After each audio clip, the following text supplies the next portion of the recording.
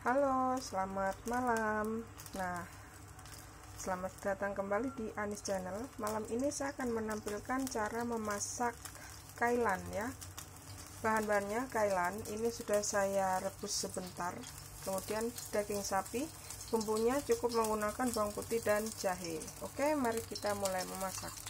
Pertama-tama yang kita lakukan adalah menggoreng daging sapinya terlebih dahulu selalu gunakan api besar ya bunda ya. CCCC yang baru datang.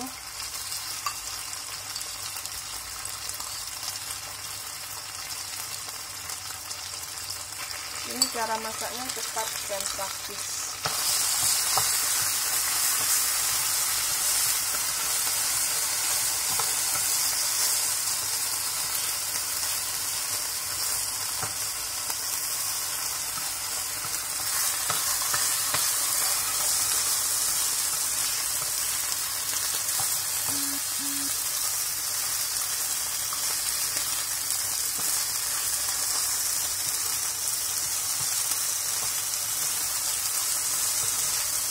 Oke, untuk dagingnya cukup begini saja. Karena nanti kita akan tumis ulang bersama dengan sayur kailan. Jadi tidak usah ditumis terlalu lama. Dan dagingnya itu sudah saya bumbui dengan saus tiram, gula dan penyedap ya. Sedikit tepung maizena dan sedikit minyak untuk mengikat bumbunya. Langsung kita tumis bawang putih dan jahe.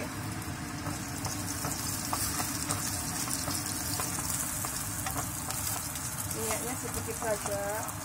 Gunakan api besar. Maaf kalau berisik karena penghisap eh, penghisap minyaknya saya hidupin ya rekan-rekan. Bunda cc kita masukkan kailan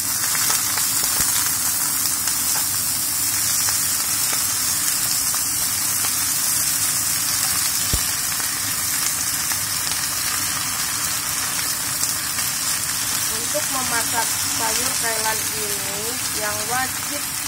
Dan jangan sampai lupa adalah menambahkan gula. Karena kailan ada sedikit rasa pahit-pahitnya gimana gitu. Jadi kita harus menambahkan gula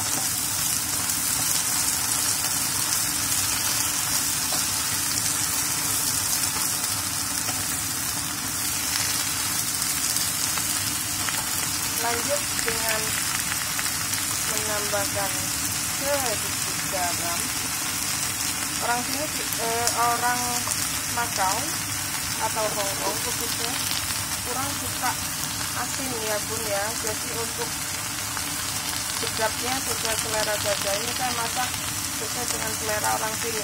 Kaldu ayam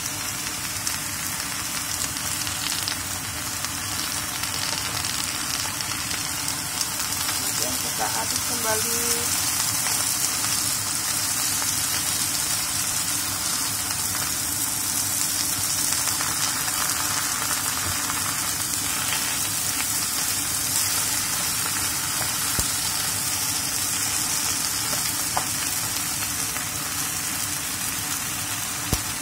Kita masukkan daging sapi tadi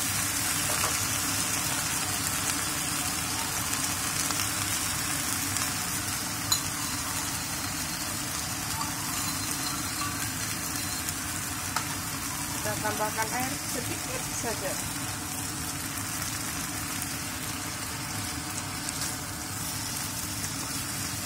Dan kita aduk. Kalau ada yang bertanya kenapa saya masaknya dagingnya sedikit? Ya karena saya masak untuk nenek ya. Untuk nenek jadi masaknya sedikit saja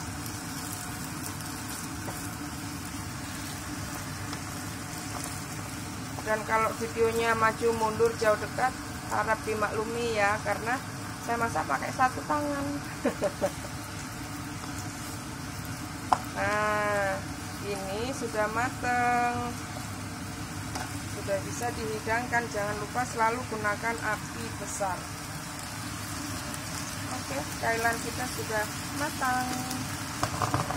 Sudah masak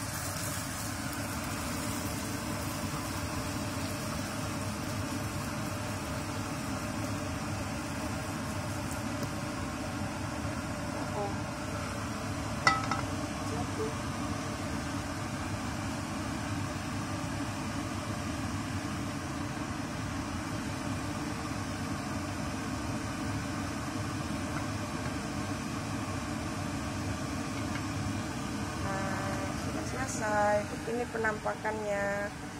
Masih panas. Wow. Selamat mencoba